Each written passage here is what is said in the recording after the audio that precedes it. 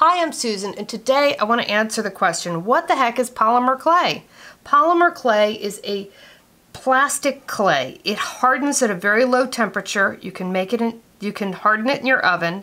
You buy it pre-made. You must condition it because it is a plastic that's been sitting and the plasticizers if they've been sitting a long time, need to be reunited with the clay. The more you work with it, the softer it can become and easier and more pliable to work with. What's nice about it, then it will reharden back up and change its form so that it, it, makes it easier to slice and apply to things. It's a very unique product. It's very fun for arts and crafts, and there's lots of cool things you can do with it.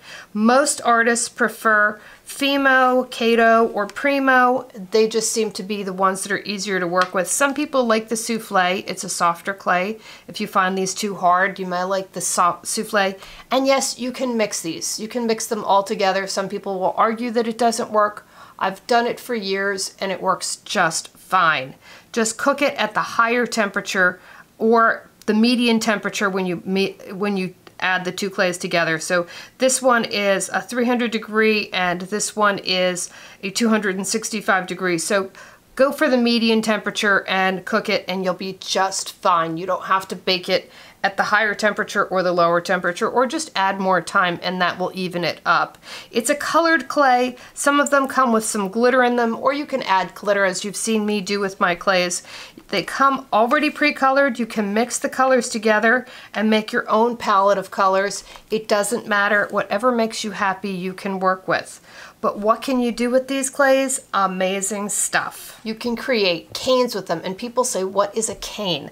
A cane is basically a stick of clay and you have basically rolled or flattened this clay to create this long tubular shape.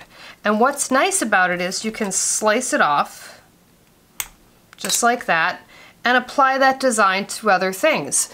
So it's, it's something that you can decorate anything with. And these are just a few canes that I've created using all different techniques that I have videos that show you how. And there's lots of wonderful artists on YouTube that show how to make canes. And even Etsy has tutorials. Here is a box that I covered with canes. It's just simply an Altoids tin. And I just used some different canes to get this wonderful texture. And if you look at it sideways, you can see that it's got some thickness, the way it's embossed. So there's lots of neat things. Now, do you have to be an artist to use polymer clay? No. This one is an Altoids tin just done with cookie cutters, little clay cutters really, and or you can use fondant cutters, any type of cutters that cross over from the fondant cooking industry work beautifully with polymer clay, but you cannot use them with cooking or food again. Once you've used it with polymer clay, it must remain with polymer clay. So keep it as a craft item.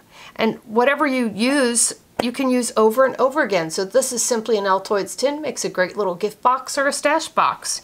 Here's another one done with a, just a little fish cutter and I've just run the clay through and added a little few rhinestones just to make it fun.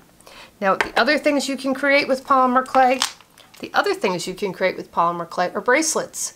This is just done on a bracelet form and I've created three different styles and it just bends right over your wrist like a regular cuff. So it's very simple and very versatile to work with. And you can create something like these beads. I've created these simply using an extruder. I have a tutorial on that. And here is just a rhinestone pod. So you can add it to your beadwork, all sorts of things. Here's a beautiful brooch created just with polymer clay and some beadwork, and you can see how it completely transforms and looks like natural pearls rather than just polymer clay. So it can fool the eye. You can create so many cool things. Here's a Christi Friesen inspired piece. She loves to do dragons and she teaches a lot of classes. If you ever look up Christi Friesen online, you will see some of the most amazing things that she does. Great fantasy work.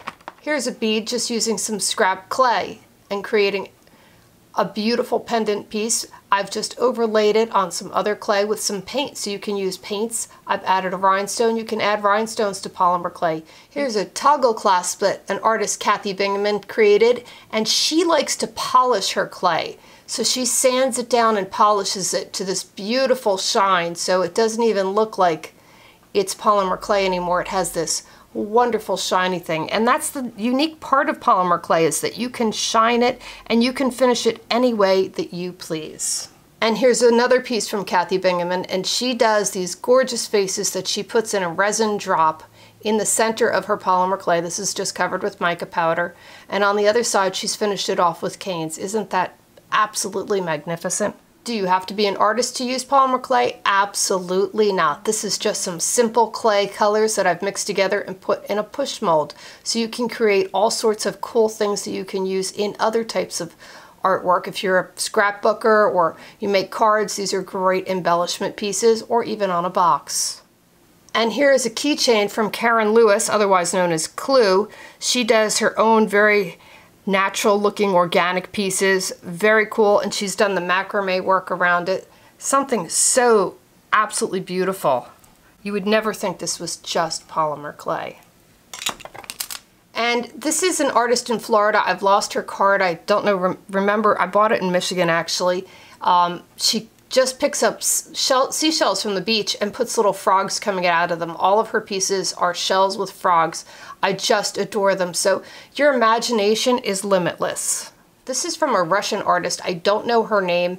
She didn't put a card in the box, but it's quite beautiful. I found her work on Pinterest.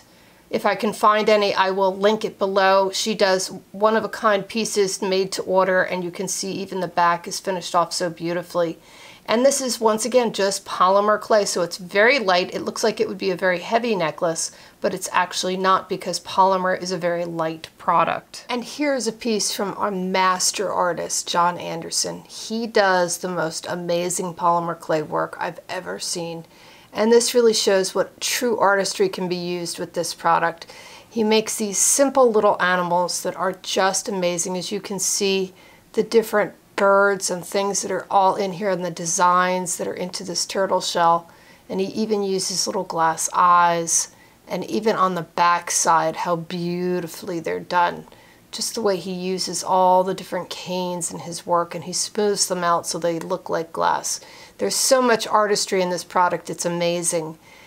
And these are from a local artist in my area, Peggy Ward. These are Christmas ornaments she made, but I just love them so much. I leave them up in my studio all year. They're just created with different Skinner blends and textures, and they're so organic and unusual looking. And she just put them on lucite so that they just, you have these beautiful leaves that are just organic and unusual. And I just think they're spectacular. And here's a pair of earrings from a wonderful artist, Kimberly Arden. She's in the Midwest, and she creates these beautiful earrings and jewelry with bright colors that are really fabulous and amazing to see. If you ever go to an art fair in Ann Arbor, she's usually there. She always has wonderful pieces, and she cre also created I also have this covered pen from Kimberly Arden, and it's all done with little fishes on it. And the nice thing is, is you can replace the ink inside of this, so if it dies, I've had it for years and it still works beautifully, but I do treasure it. It's, see the bubbles that she's created and the fish, all the different canes that people create, and their imagination is amazing. And here's an example just using resin. I've created an ornament just using a stamp, and some resin on top of polymer clay and see how you can get that shine just by adding some glitter to it, completely changing the look of this item. So it's just a beautiful ornament that you can hang anytime. And here is my most favorite piece from Tanya Bakanova. I think I said her name wrong, but I'll put the link to her shop on Etsy. She has created me this little doll that looks like my dog. It is the most precious thing I have ever seen in my life. It is she even knitted the little hat and she created the body out of fabric and colored it but the head is all polymer clay. So there's lots of really cool things you can do with polymer clay and all you need to do is look at other artists to inspire you. I hope you enjoyed that and I hope you try to use polymer clay because it's really fun. Thanks for watching